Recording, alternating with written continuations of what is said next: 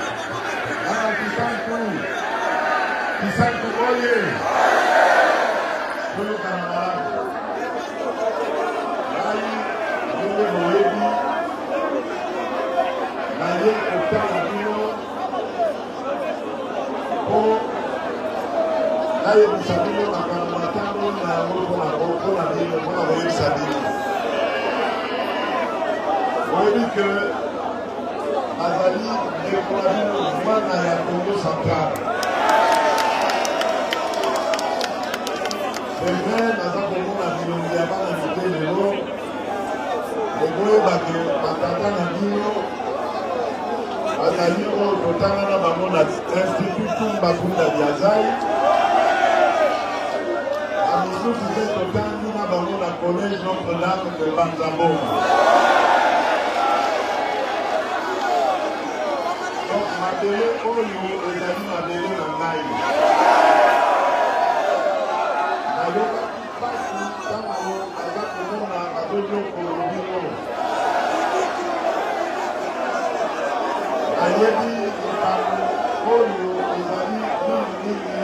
ya insécurité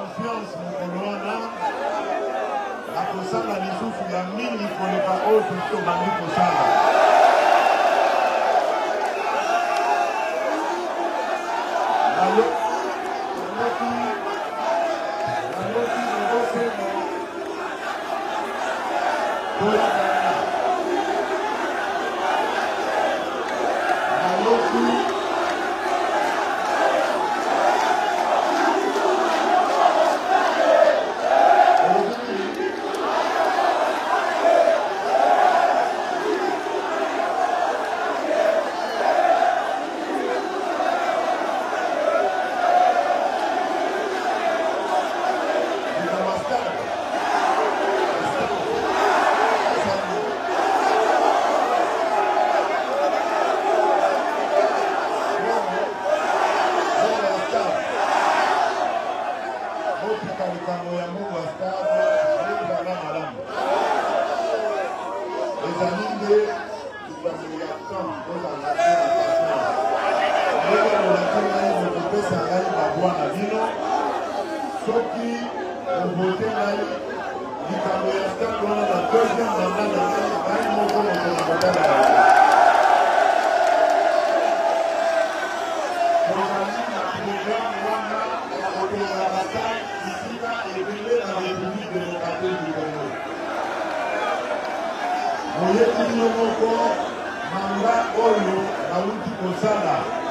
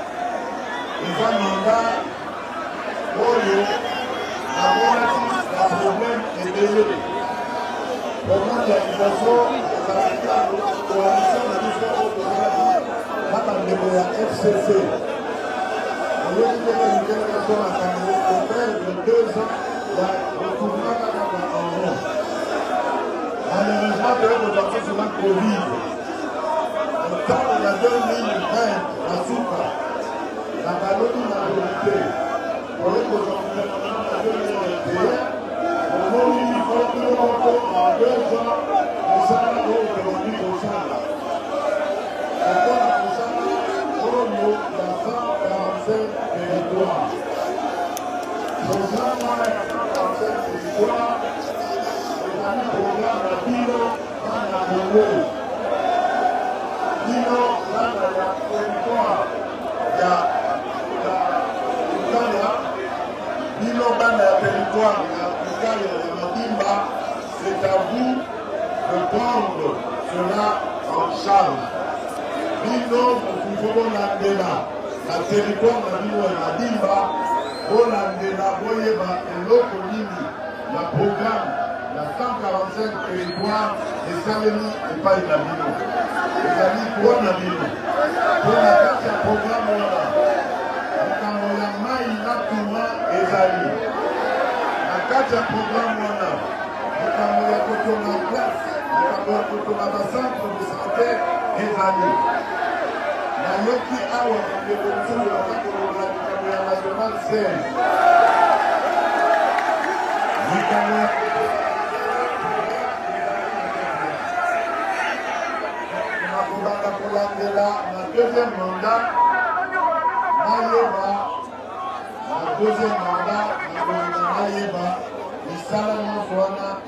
soki ekokisami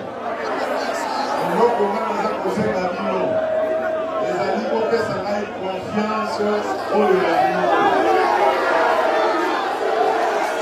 bopesa ngai konfiance misala oyo epesi tobandi kokosukisa yango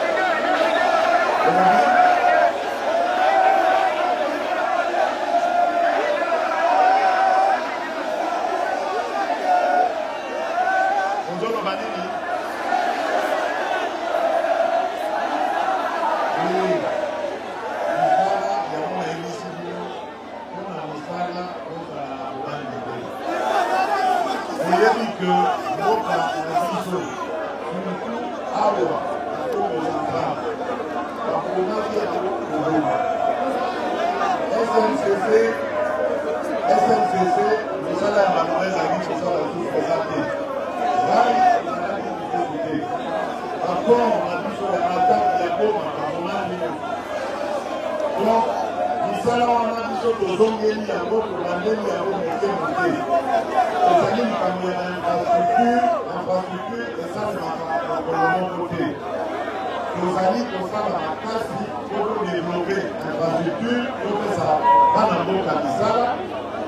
mpe tokodevelope mpe agriculture oyo kange mosala ya bilanga ezali mosala ya motuya ntango tokodevelope bilanga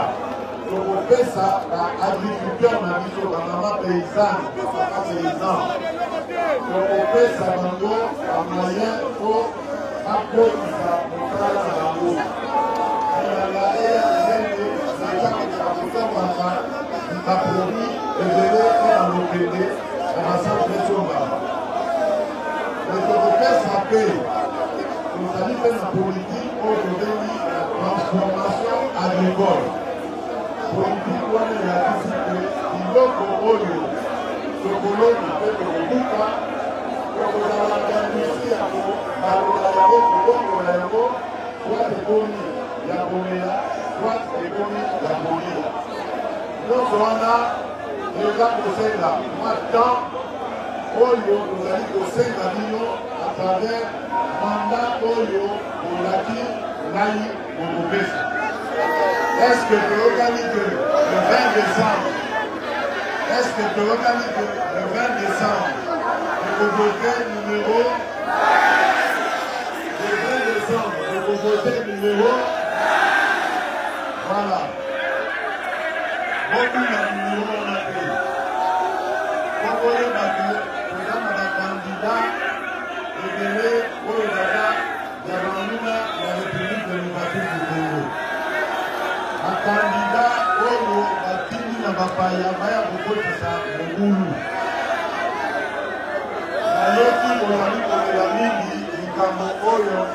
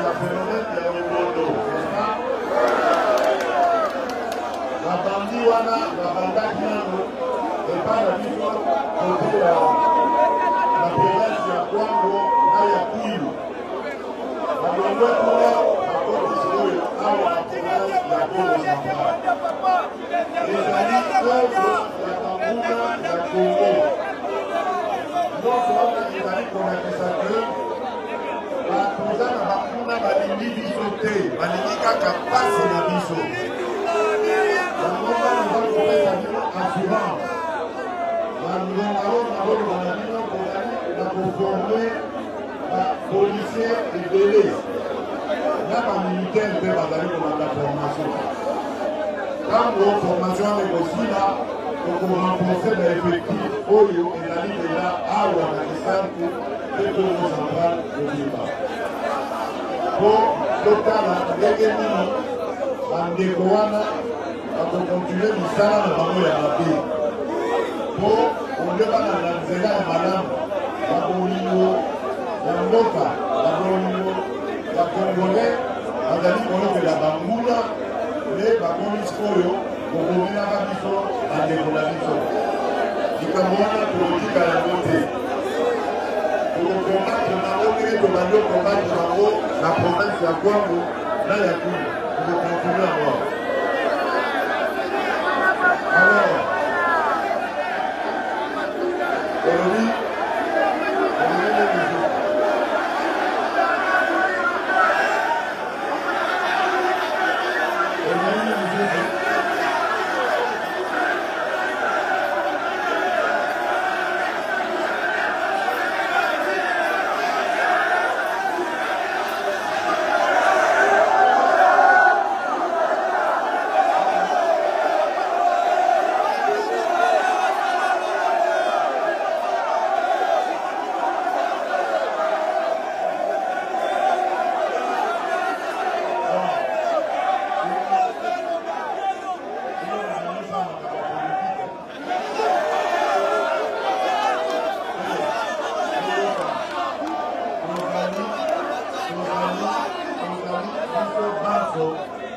bana ya union sacre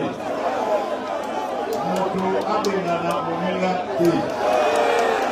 bino nde bozali bakonzi peuple azali souverain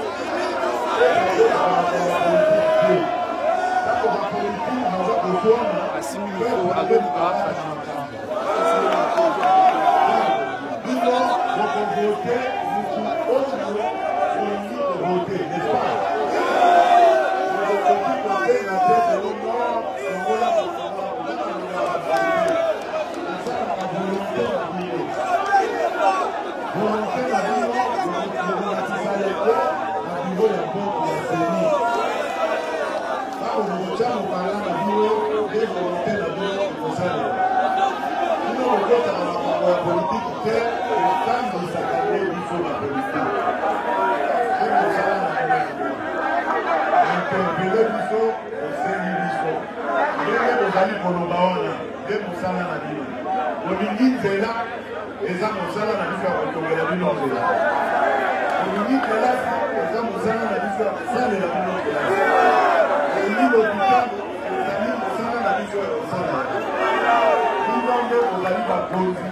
biso nde mangamba na bino oyeba yango ntango bozali kopesa manda na bino konfiance na bino na moto ezali mpo moto wana asalela bino nde kosala yango nde ngai naye kosala